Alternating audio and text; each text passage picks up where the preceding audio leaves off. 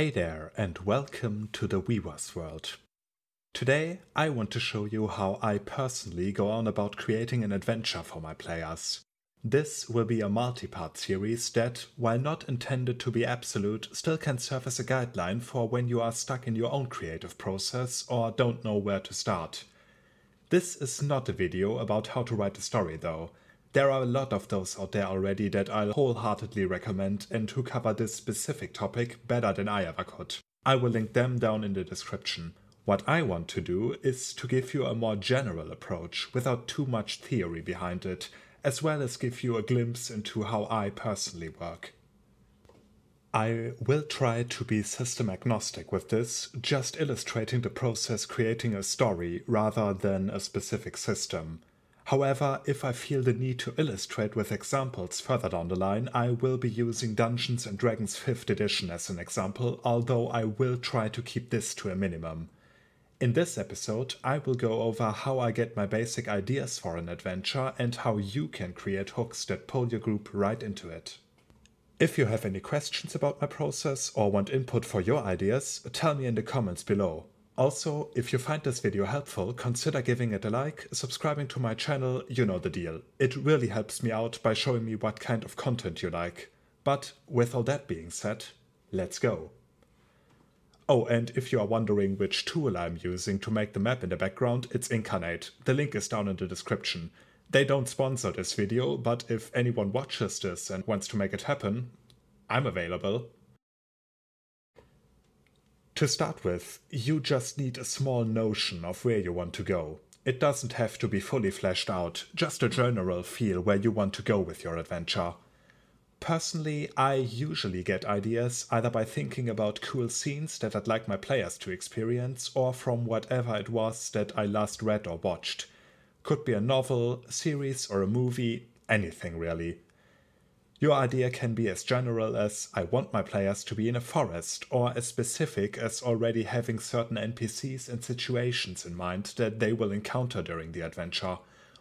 What's important is that you have a scene to start with, no matter where in the story it's set. From there on, just allow your mind to wander. Personally, I like to put on some music to fit the mood and just daydream about what could happen. If my players are in a forest, maybe some calm, relaxing music would be fitting, or something more sinister and foreboding should that forest be haunted with danger lurking at every corner. But in this case, I want a more friendly kind of forest, one that feels inviting to relax in, so let's put some music on befitting that. Perfect. Incidentally, most of the music I use I take from Tabletop Audio, a link to that will be in the description as well.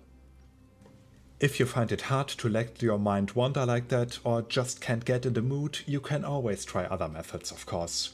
Mind maps are an excellent tool to achieve pretty much the same effect. You start from one idea, say a forest, and work from there, branching out into different things that can happen in a forest.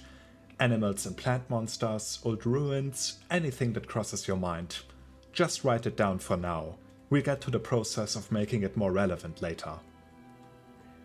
A pretty old joke goes that ideas are like farts. If you have to force them, they are shit. In that vein, try to let your thoughts flow, but if you feel like you are straining to come up with anything new, take it as a sign that you probably have enough resources to work with. Maybe take a break and come back later if what you have feels a little barren, but don't overdo it. Especially if you are new with writing your own adventures. Creativity is like a muscle in that you can train it. And training means going as far as you can comfortably and then just the right amount further. And soon enough, this will be your new comfort zone. And just one last tip if you still feel that what you have is not enough. There is a quote often attributed to the Spanish artist Pablo Picasso A good artist copies, a great artist steals. I sure am glad that I thought of phrasing it like that, but jokes aside, whether Picasso actually said it or not, it segues nicely into my last piece of advice for this. Don't be afraid to look for inspiration in the things you like. Be it books, series, games. Think about where you want to go and how others already did it. Copying these ideas word for word is not a good idea, but looking at what they do right is. And maybe stealing a little is okay too. Just don't overdo it. So, what do I have? As I said, I normally daydream, so I'm just imagining a group of adventurers going through a nice forest, one like I often went to as a kid. The weather is nice, birds are singing, and just a bit in the distance you can hear the murmur of a calm, refreshing river. Sounds nice, doesn't it? But why would hardened adventurers be here, and what kind of danger could they encounter? Let's talk about the why first. Before we talk about how to hook your players into your adventure, now is the time to trim the basic idea a little bit. I find that this goes nicely with creating a hook or even multiple hooks for the group to join your adventure, as you want to think about what exactly it is your adventure should be about. What is at stake? Will they rescue someone? Escort a group of civilians, maybe? Or are they in the forest to find some old ruins that are probably laden with treasure? When you ask yourself questions like this, some of the ideas you already had suddenly become way more important, while others take a step back. Maybe you even get whole new ideas, which is great. Just make a quick note of them, mentally or physically. I like to think about my players when I write a hook to individualize them a bit to suit the characters. But let's say we want to keep it a bit more general so that you can reuse your adventure later or even give it to other GMs. In that case, it always pays to have multiple ways the group can join the adventure. I usually try to go for four different ideas, which all cover a different motivation for adventure. Your group can do it for the sake of glory, in which case maybe an important figure or someone they care about asks them to help with a problem. They may be out for treasure, in which case a rumor about some ancient ruin with presumed riches will do nicely. Or they may want to explore, in that case, an ancient ruin with some presumed riches also works great, but maybe give it a bit more of a background story that lends itself to being explored. How about a forgotten temple of an unknown god? And finally, you can always think of your adventure as part of a larger module, in which case maybe there is some lead regarding the bigger plot that forces them to detour. So, there you have it four plot hooks that may just work, and one of them even gave us a little more to work with ancient ruins. That idea pops up again and again in my stream of consciousness, so let's jot it down to work with it later. Of course, all these hooks lead to the same story, so now that we know what our adventure will be set in a forest that hides some ancient ruins, let's think about what kind of ruins they are. This may seem like a detour at first, but it will help with refining the hooks for the adventure. Since it is a peaceful forest, I'd imagine that the ruins once were a temple dedicated to a goddess of nature. She was adored by her worshippers, and people came from far and wide to praise her and shower the temple with precious gifts to show their love and appreciation. But as time went on, fewer and fewer people visited the temple, until it was finally left in disrepair and the last priests died, not having found anyone to succeed them. Some of the treasure remains though. If you cannot improvise a story like that yet, you can try to remember something you read or saw in a movie once and slightly alter it. As I said before, it's okay to take inspiration from elsewhere, just don't make it too obvious. In future episodes, we'll also talk about how to refine that basic idea, but for the hook it doesn't need to be great. Just go with it for now.